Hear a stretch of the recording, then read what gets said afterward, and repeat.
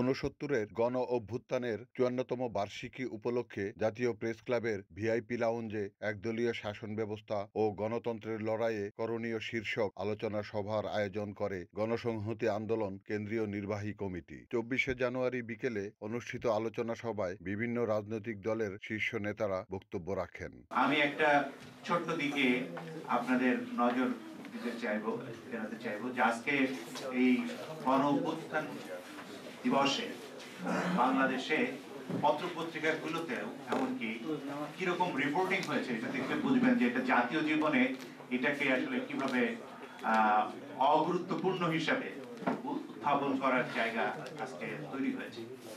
এই সমস্ত প্রেক্ষিতে, এবং আমরা জানি যে উনসত্তরের গণ অভ্যুত্থান একটা প্রবল স্বৈরতান্ত্রিক ব্যবস্থা, স্বৈরতন্ত্রের বিরুদ্ধে মানুষের সংগ্রাম গড়ে তুলেছিল।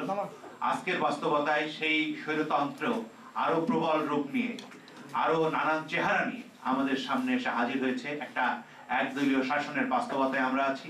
এর ভেতরে আসলে আমরা কীভাবে সংগ্রাম গড়ে তুলতে পারি এবং ইতিহাস আমাদের পথ দেখায়, সেই পথ ধরে আমরা কোন দিকে যেতে পারি, সেই পথে যাওয়ার জন্য আমরা কি কি করতে পারি সেগুলো আমরা নেতৃবৃন্দের কাছ থেকে শুনব। তার অন্যতম শর্ত হচ্ছে জনগণ পরিবর্তন চাইতে হবে। আমাদের জনগণ এই পরিবর্তন চায় গত দুই চার বছর ধরে। আমি এখন মানুষকে দেখতে, এখনও যে কথা বলি, আজও যে আসছি, আমার সাথে গাড়ি ছিল না উবারে চলেছি উবারের ড্রাইভারদেরকে চিনেছে, সালাম টালাম দিয়ে, স্যার, কি হবে হবে না কিছু? হবে না কেন? হ্যাঁ আমরা আছি। এখনও সব মানুষ বলবে, আমরা পরিবর্তন চাই, লড়াই করব। মানে চেঞ্জের জন্য মানুষ আছে।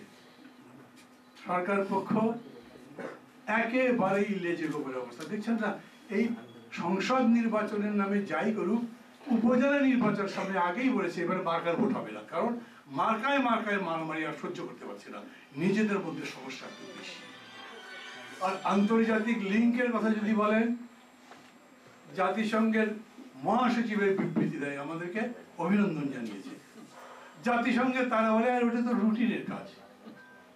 তারপরে তাদের মানবাধিকার কমিশনের যিনি প্রধান, তিনি বলেন যে আমাদের যে বক্তব্য আগে ছিল, তাই আছে, এই ভোট ভালো হয়নি।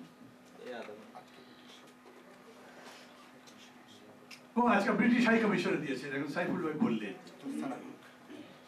আর আমেরিকান অ্যাম্বাসেডার তলে তলে শেখ হাসিনার সাথে দেখা করে শুভেচ্ছা জানিয়েছে বলেছে না সাথে আবার নিয়ে গেছে নতুন এক মিথ্যা তথ্যমন্ত্রী। কিন্তু ওরা ওখান থেকে বলেছে ম্যাথু মিলার আমরা যা বলেছিলাম তাই ভোট ভালো হয় নাই।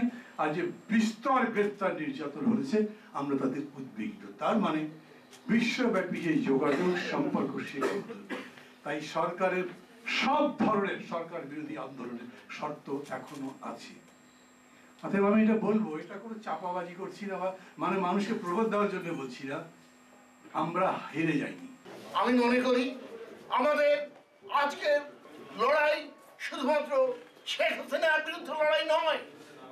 তাকে প্রত্যক্ষ এবং পরোক্ষভাবে যারা মদত যোগাচ্ছে, যাদের আগ্রাসনবাদ, আধিপত্যবাদ, সম্প্রসারণবাদ, বাংলার রাজনীতি, অর্থনীতি, সমাজনীতি, সমস্ত কিছু গ্রাস করেছে, তার বিরুদ্ধে সেটাকে চিহ্নিত করে তার বিরুদ্ধে আমাদেরকে কথা বলতে হবে।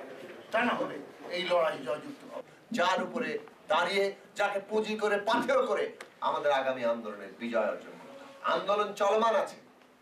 আন্দোলন একটা ধাপ অতিক্রম করেছে। মান্না ভাই বলেছেন, এই কথাটা আমি আমাদের দলের দিক থেকে এবং আমরা সকলে মিলে এই কথাটা বারবার বলি যে আসলে ঊনসত্তর তো দূরের কথা।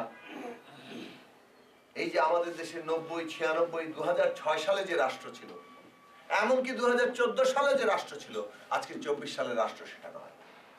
Shahjahan Chowdhury, NN TV, Dhaka.